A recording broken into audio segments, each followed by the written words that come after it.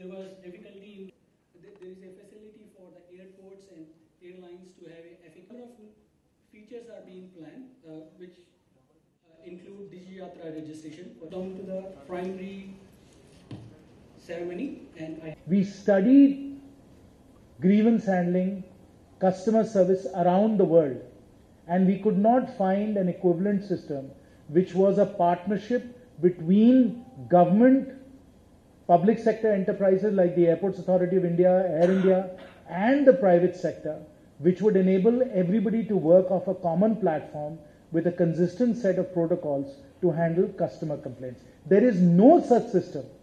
I will repeat.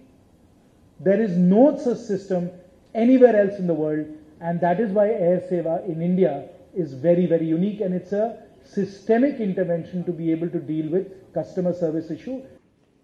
Congratulations Air Seva champion. And we hope that this will motivate other stakeholders. Since its launch, more than 92% of the grievances, functionalities and features of the A7 platform for the अब मीलों लंबी उड़ान भर रहे हैं नागर विमानन मंत्रालय के प्रयासों के फलस्वरूप अब हवाई यात्राएँ सस्ती सुखद सुविधाजनक और व्यापक हो गई हैं। एयर सेवा नागरिकों के